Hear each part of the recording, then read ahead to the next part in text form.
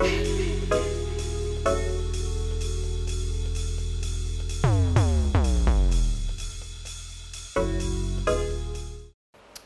name is Samuel King.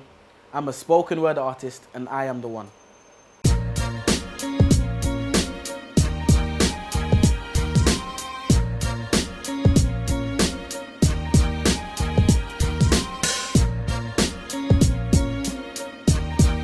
Um, I'm a spoken word artist and I do performance poetry. I used to do a lot of rapping. Um, everyone's about the rapping career, everyone's about the rapping lifestyle. And I liked it, but I thought I had a message to pass with my rapping. But because of the music and the rhythm and the flow and the expectations of rapping, people wasn't taking in my message. So I stripped away the beat, I stripped away all the kind of hype behind rapping, and I stuck strictly to the lyrical content so people can actually take in what I have to say. There's two. Um, it's about a sense of reality. I realized that as young people, we're caught up with the hype of life and the world and partying and raving and all the things that young people do, which is not a bad thing when you're young. But I think a sense of reality needs to kick in when you hit my age, which is about 17, 18.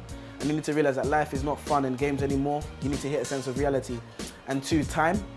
With all the hype and getting caught up in the world and lifestyle and all that thing, I think a lot of people waste a lot of time. That's old, young, big, small, however you want to think. A lot of people waste a lot of time. And time is precious because we don't really own time. Just use it. So, yeah. George the Poet, he got me into writing poetry a lot. I used to like the idea of poetry, but as I said, I used to rap before. When I saw the Poet actually taking poetry to the platform and to the level he did take it, I realized, well, okay, poetry can be taken somewhere.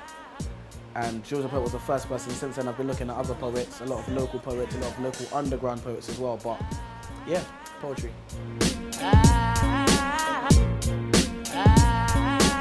The young. Um, I'm trying to reach out to a lot of people my age and probably younger.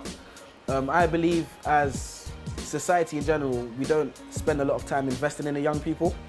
Um, and that's what a lot of people lack, and that's a big problem I think society faces. I think we need to invest a lot more in young people, and I want to start that movement in passing the message to young people that they can pass on to future generations and more and more generations.